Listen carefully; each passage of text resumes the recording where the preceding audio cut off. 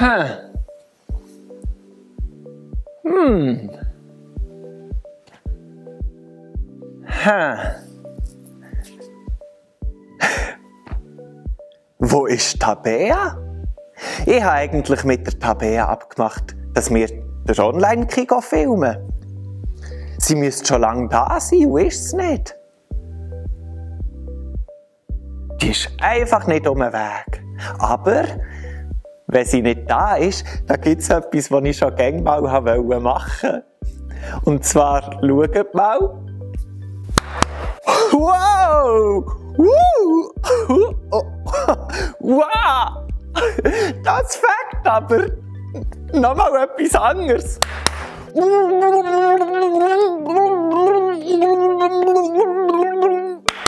Oh, viel besser. Uff. Ich wollte hier an den Strand wollen. und nicht ins Wasser. Da ist auch vor irgendetwas heute schief gelaufen. Zum Glück hat es geklappt. Ah, oh, tut es gut, die Sonne zu haben. Und das Meer, wow, einfach herrlich. Aber, oh ja, eigentlich bin ich ja wegen Online-Kino da. Gehen wir lieber wieder zurück. So, hier sind wir also wieder. Wobei eben Tabea ist ja noch nicht da. Jetzt ihr mal an und schauen, was da los ist. Das kann ja auch nicht sein, hä?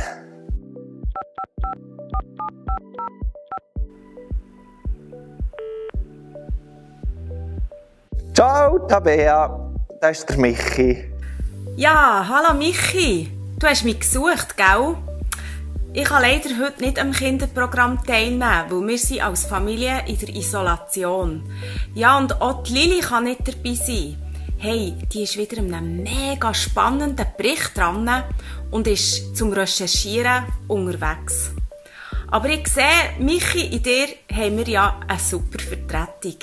Und ich wünsche euch allen einen mega, mega tollen Kigo heute Morgen.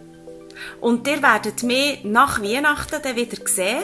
Und ich wünsche euch in der Zwischenzeit ganz eine gute, besinnliche, schöne Weihnachtszeit.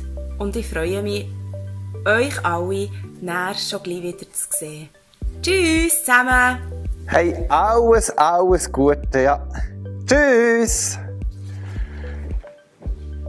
In diesem Fall bin ich heute nicht der, der filmt, sondern der, der mit euch der Online-Kigo macht. Dann ziehe ich das ab. Brauchen wir nicht mehr. Autsch! Excuse! Ist auch noch mal gut gegangen. Hey, dann legen wir heute miteinander los. Für das muss ich aber ganz schnell unseren Adventskranz holen. Da ist er. Wir feiern heute zusammen den vierten Advent. Das bedeutet, wir können alle Kerzen anzünden.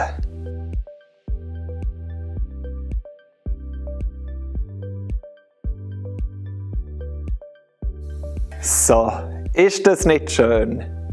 Ich habe mega, mega Freude, dass heute der vierte Advent ist und schon gleich ist Weihnachten. Der Tag, wo Jesus ist geboren. Ich werde beten. Jesus, wir danken dir, dass du auf die Welt bist gekommen. Wir danken dir, dass du ein Gott bist, der uns begegnet. Der in unser Leben eindringt und sich offenbart und zu sich ruft. Und ich bitte dich für die Kigo-Zeit, dass wir eine Begegnung mit dir dürfen haben dass wir dich dürfen sehen, wer du bist, was du hast gemacht und wie du mit uns zusammenleben willst. Danke, dass du bei uns bist. Amen. Hallo zusammen. Ich glaube, ihr kennt mich gar noch nicht. Ich bin der Leo. Ich bin ein Reporter. Also noch nicht ganz. Ich bin ein Lehrling. Oder wie man ja hier sagt, ich bin ein Stift. Aber ich bin ja nicht in dem Sinne Stift. Die Lili hat mich angestellt. Und ich bin jetzt ganz neu in diesem Beruf. Ich weiß noch nicht, wie das so geht. Und ich bin ein bisschen nervös, weil Lili hat mir eine mega grosse Aufgabe zugeteilt.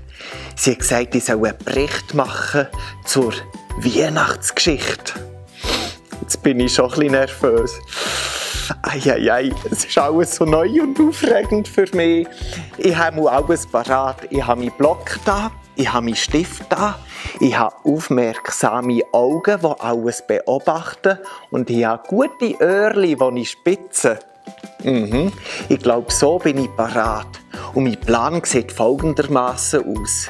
Weil ich ja gar keine Ahnung habe von Weihnachten und von dieser Geschichte und was ich genau machen muss.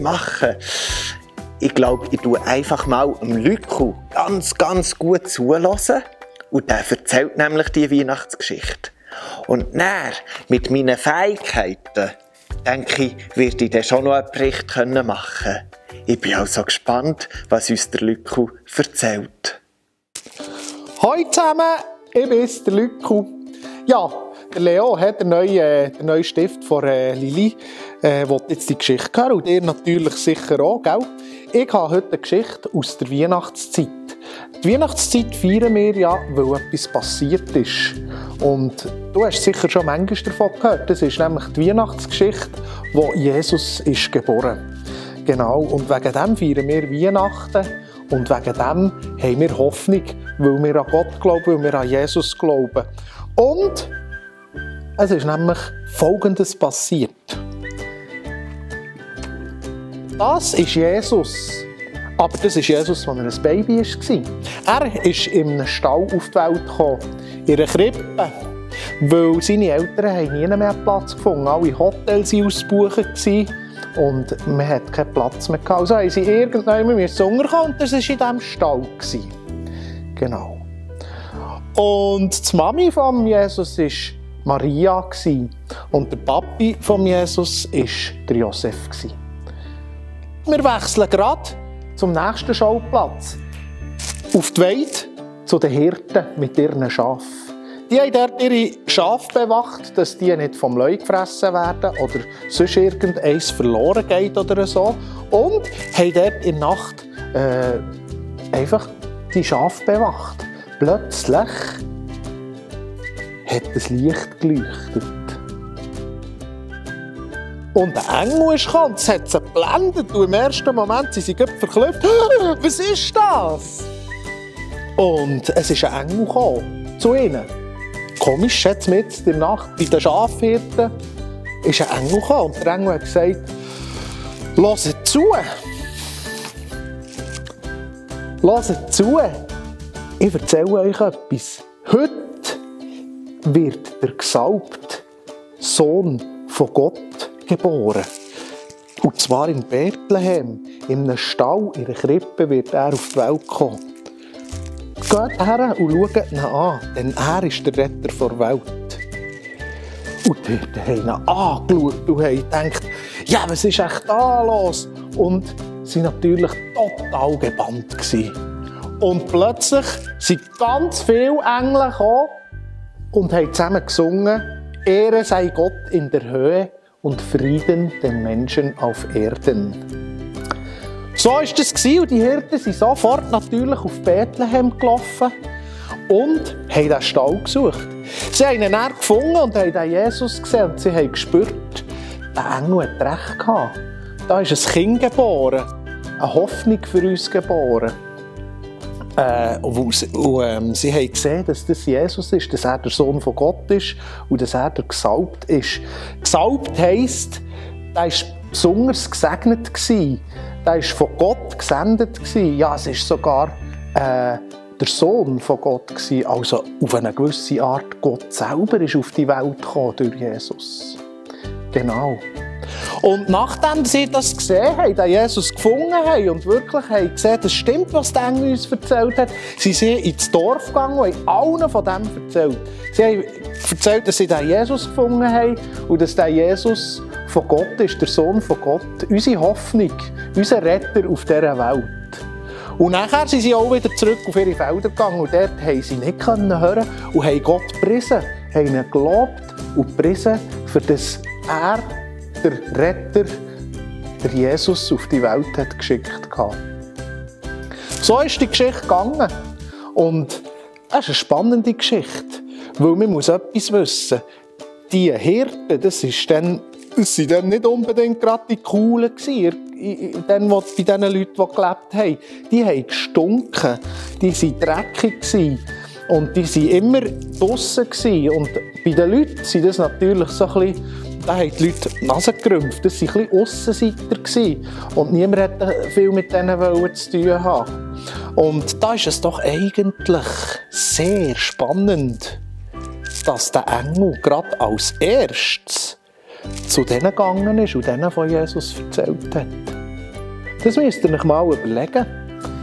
Ja, ich weiß nicht, vielleicht bewegt es noch ein bisschen. Vielleicht weiss jetzt auch Leo ein bisschen mehr über Weihnachten. Und dann wollen wir mal schauen, was er euch noch so alles zu erzählen hat.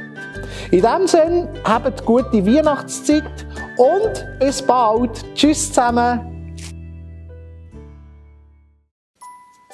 Krass.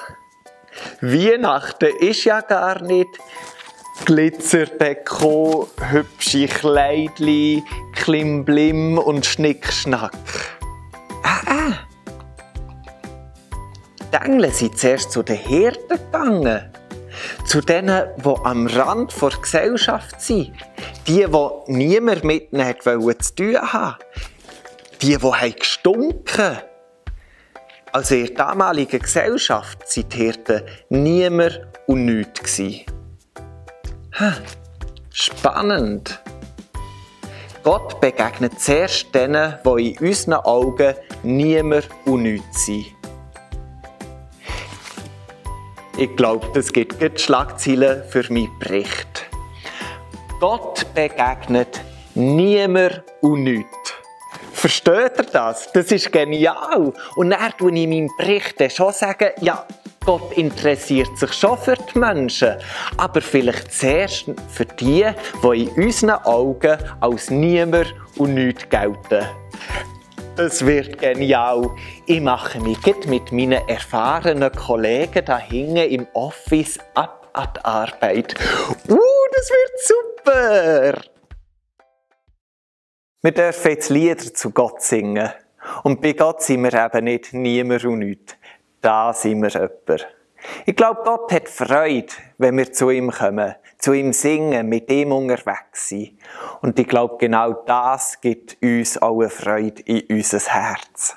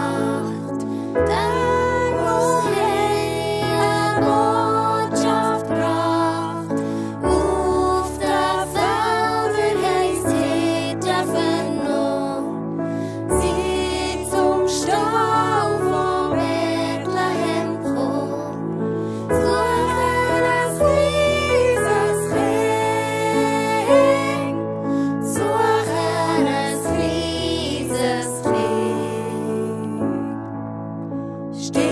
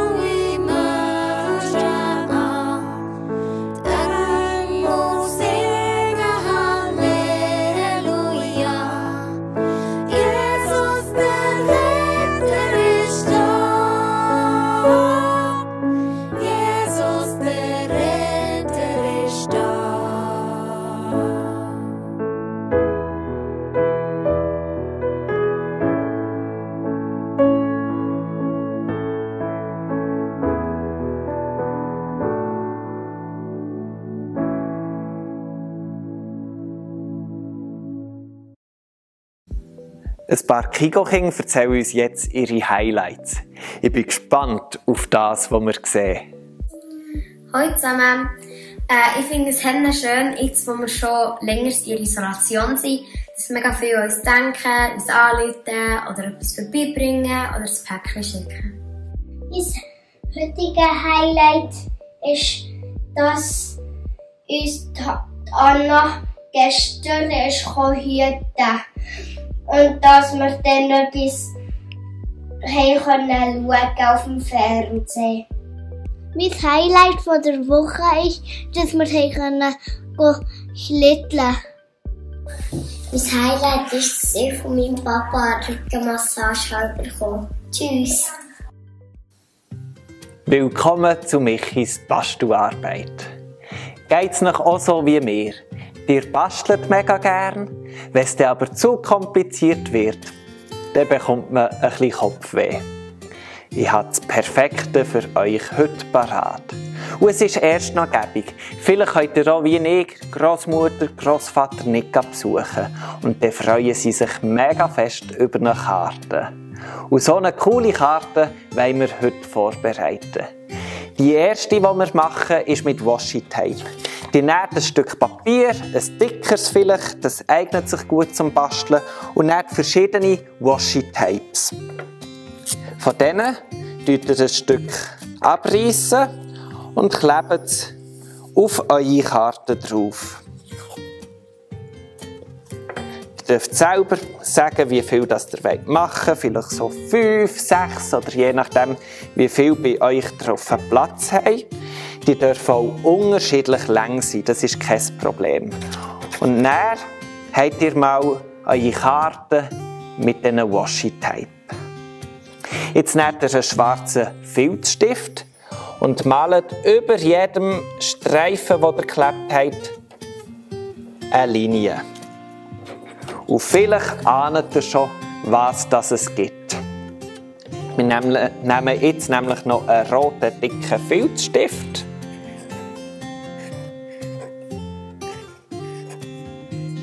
Und malen eine Flamme auf die bunte Kerzenschar, die wir geklebt haben. Ich bin überzeugt, das ist ein Geschenk, das jedes Grossi und jeder Grosspäppel freut und das die Leute aufstellt in dieser Weihnachtszeit. Die zweite Möglichkeit, die wir haben für eine Karte ist genauso cool wie die erste. Ihr nehmt eine Zeitung und tut lauter so längliche Schnipsel rausschnipseln. Am besten geht von Hang, dass es so ein paar Fransen reingibt. Das sieht nämlich noch cool aus, das hat einen guten Effekt. Und die müssen unterschiedlich lang sein. Und dann nehmt ihr einen Leimstift,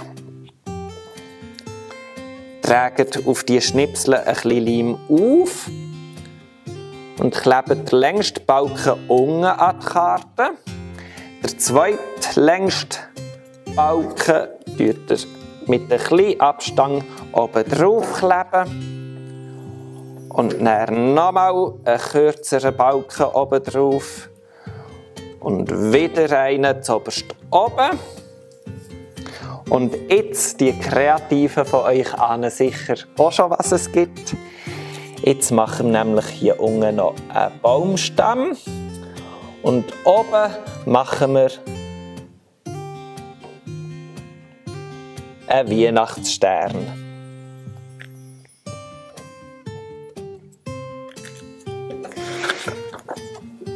Wie gesagt, diese Karte hier ist schon vielleicht für die Anspruchsvolleren. Meine ist nicht mega schön gekommen, aber ich glaube, ihr könnt es sicher ganz gut machen. Hey, ich glaube, wir haben hier zwei coole Möglichkeiten, wie wir Freude an Weihnachten können verschenken können und selber beim Basteln auch noch Freude daran haben. Wisst ihr es noch? Ja, genau. Letzte Woche haben wir euch gefragt, ob ihr uns euer Lieblings-Weihnachtslied schickt. Und wenn möglich eben noch ein bisschen mit verrückten Bewegungen dazu. Man darf wild tanzen und da sind einige Beiträge zusammengekommen. Merci vielmals für euer Mitmachen. Wir wollen mal schauen, wie das so tut. bum, tschakka bum bum. Bas rusz, rusz, ruszelek, lekali, jebli, żelejemy żodrów. Trip, trip, tripeletum, trop, trop, tropelet, kontech seny zuzi i oj, oj, oj, o, was dum, dum, dum, jelet, dum, dum, dum, jelet, heterech, sini klocka det blir i aj, aj, aj, aj. Ich wir nach da bum, tschakka bum, bum. Und die Fröja mi bum, tschakka bum, bum, tschakka bum, bum, tschakka bum, bum, tschakka bum, bum, tschakka bum, bum.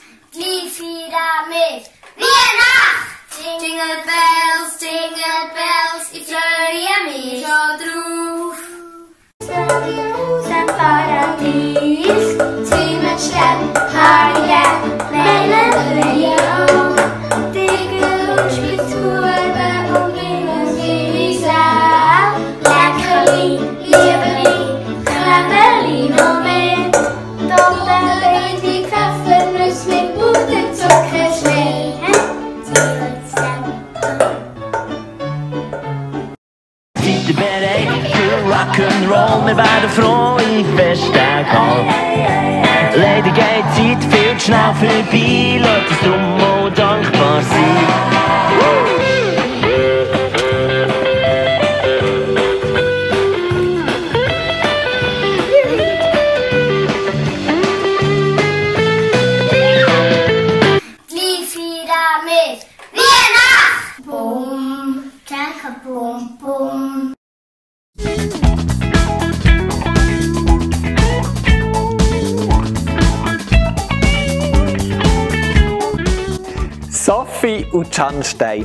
Am 21. werden ihr 10. Glenn Vogunten. Am 25. wirst du 4. Und Janosch Vogunten. Am 28. wirst du 10. Wir gratulieren euch ganz, ganz herzlich und wünschen alles Gute! Wir sind fast am Schluss von dem Online-Kindergottesdienst. Für mich war es eine mega, mega Freude, diesen Morgen mit euch zu verbringen. Es hat unheimlich gefällt. Und jetzt habe ich noch das Geschenk, dass ich euch einen Vers mit auf den Weg geben darf. Ich habe mich für Lukas 1,37 entschieden. Der sagt der Engel zur Maria, für Gott ist nichts unmöglich. Und diese Zuversicht werde ich euch zusprechen. Nehmt die mit. Ich bete. Jesus, ich danke dir für alles, was du hast gemacht Dass du Mensch geworden bist, dass du uns begegnet bist, dass du die Hirten zu dir gerufen hast und ihnen begegnet bist. All das zeigt uns, für dich ist nichts unmöglich. Und ich bitte dich, dass du im Leben von uns allen bist dass du an unserer Seite bist und mit uns der Schwieriges und der Schönes gehst und dass wir dürfen spüren, ja, für dich ist wirklich nichts unmöglich. Amen. Hey, danke euch für die Zeit. Ich wünsche euch noch ein paar gute letzte Schultage und dann genießt die Weihnachten, das Fest, die Freude und natürlich auch die ganzen Ferien. Wir hoffen auf ganz viel Schnee und dass wir ein bisschen umtoben und Spass haben Alles, alles Gute. Wir machen jetzt hier vom Online-Kigo auch ein bisschen Ferien und sehen uns dann am 10.01. wieder. Ich freue mich. Bis dann. Tschüss!